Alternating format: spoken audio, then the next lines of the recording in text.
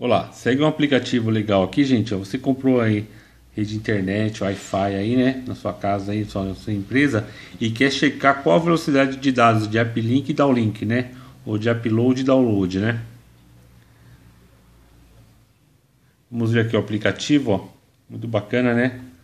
Ele chama My, My Mobile. Vamos pegar, pegar o ícone dele aqui e ver como é que é. Tá vendo?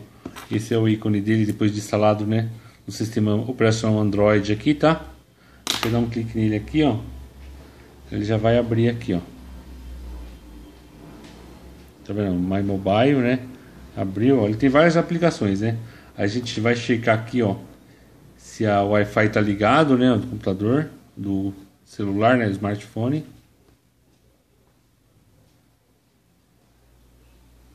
Aí no caso aqui está ativado, né, você vem aqui, ó, fecha e vem aqui no Speed Test aqui, ó.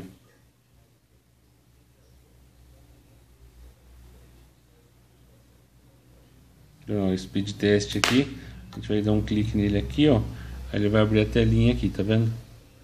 Aí já indica aqui ó, que está o Wi-Fi. Se você desligar lá o Wi-Fi, né? Ele vai medir sua rede de dados 3G ou 4G, se você tiver aí. Tá vendo? Ele aqui, ó. Agora dou um starter test aqui, ó. Ele vai medir, ó. Primeiro o download, né, ó. Nosso serviço contratado aqui é 10 MB. E agora eu vou testar o upload, ó, 1 MB.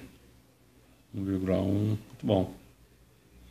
E ele vai gerando relatórios aqui, ó, tá vendo, ó? a latência. Nossa, tô tremendo aqui. A latência, né? A velocidade de dados aqui. Você consegue mandar por e-mail o relatório para você guardar ou salvar a foto, né? O arquivo. Vamos gerar de novo, ó. Tá rodando, ó. Cheia da picos de 10 mega lá.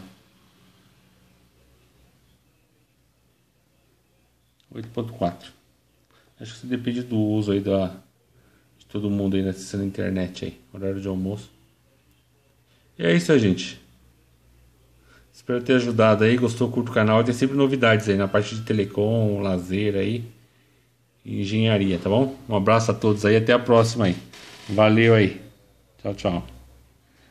Inscreva-se no nosso canal, hein, gente. Valeu, um abração aí. Tchau, tchau.